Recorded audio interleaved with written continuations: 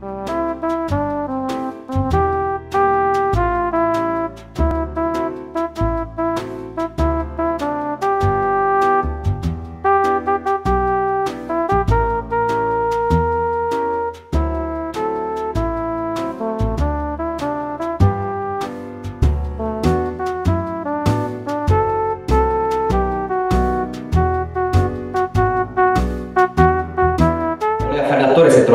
A distribuire dei volantini a Queensway vicino a un ristorante greco, vestito tra l'altro da antico greco con fustanella e calzamaglia bianca che non è il massimo del sogno di un attore, però è un attore. e torna indietro a Roma perché Grazia lo chiama per fare un corso di teatro, lui si aspetta di trovarsi davanti appunto delle persone giovani come lui e invece Grazia gli ha preparato questa sorpresa per cui i suoi allievi saranno dei 60-70 anni e poi Teresa invece che è la nipote di Grazia, questa ragazza più grande di lui, trentenne, che lui trova ogni lunedì uscendo appunto dalla sua lezione, se la trova lì che fuma una sigaretta e la guarda come una creatura esotica perché è una ragazza bella, attraente, ma a 30 anni per lui, per quel gradino che c'è tra un ventenne e una trentenne, è già parecchio di esotismo e di distanza, anche se non è una generazione diversa naturalmente, però la vede come una creatura misteriosa, anche un po' brusca, burbera, questo lo, lo attrae perché la vede più difficile delle sue coetanee, anche da conquistare. L'appuntamento ricorrente del lunedì consente loro di vedersi sempre, ma di non guadagnare troppo velocemente appunto quel bacio. Non faccio uno spoiler particolarmente drammatico, arriva verso pagina 130 e qualche, cioè ci mettono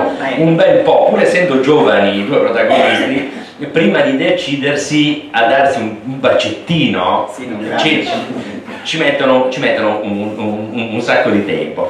Forse non avrei scritto, questo lo dico sinceramente, una storia d'amore perché non è nelle mie corde il romanzo rosa, sentimentale, che rispetto molto, ma non, non, lo so proprio fare, quindi mi sembra già strano aver scritto una storia d'amore e allora ho messo quei due avverbi a fila che hanno un valore di understatement ironico, quasi solo d'amore, ma anche perché tutto sommato è quasi solo d'amore, come abbiamo detto c'è il teatro, c'è la distanza generazionale. Mi piace di te questo essere adulta, la tua testa di meccanismi complicati come un orologio, piccole ruote dentate, viti, rocchetti, leve e anelli, niente di più misterioso e di più perfetto.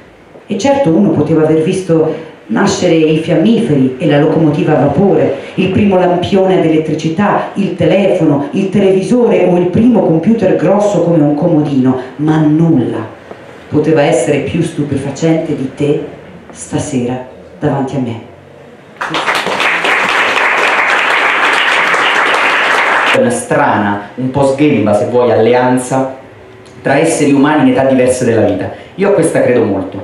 Voglio dire, non è per dire qualcosa di così di dolciastro, ma perché credo, e comunque mi è capitato, di sentire la possibilità di dialogare con persone che avevano il doppio dei miei anni, se non il triplo in certi casi, ma di dialogare da pari a pari davvero. Quando però quell'altra persona si disponeva a mettere in gioco anche il ventenne che conteneva quando cioè, come a un certo punto del libro viene fuori, la signora Laura tira fuori da sé anche la signorina Laura e a quel punto la signorina Laura riesce a danzare con, con Nino, cioè danzano così dall'esterno tu vedi un ventenne, una ottantenne, una settantenne, ma in realtà in quel momento forse stanno danzando due ventenni. Quando è che siamo diventati stronzi? Come abbiamo fatto a non rendercene conto? Qualcosa sopravvive, il talento che diventa mestiere più raffinato, più disinvolto, ma lo stupore e l'attenzione autentica, profonda, che ci teneva incollati alle cose per ore, alle scoperte della vita intellettuale, alle parole degli sconosciuti, un po' a tutto.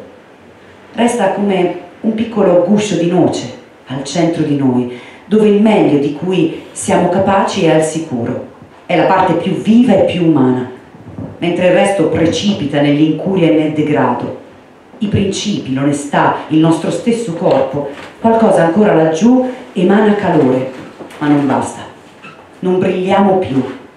Qualcuno da lontano scambia per luce vera il neon freddo e sterile del saperci fare che rapporto c'è tra il teatro e la stronzaggine, punto primo, e secondo se la stronzaggine riguarda solo ed esclusivamente il teatro. Tutti un po' alla fine ci sappiamo fare, ce la sbrighiamo anche facilmente con l'esperienza, no? Ma dov'è quel nucleo autentico che stava all'inizio di noi? Non lo so dove finisce, che cosa gli succede effettivamente, ma mi preoccupa molto mi preoccupa come cosa proprio sostanziale dell'esistenza questo tema dell'autenticità. So che non lo risolverò mai, so che comunque sbatto la testa su questa idea stessa di autenticità. E allora col doppio salto mortale senti che a teatro questo tema diventa ancora più visibile, vorrei, vorrei dire perfino tangibile, perché tu ti chiedi che cos'è autentico dove regna l'inautentico?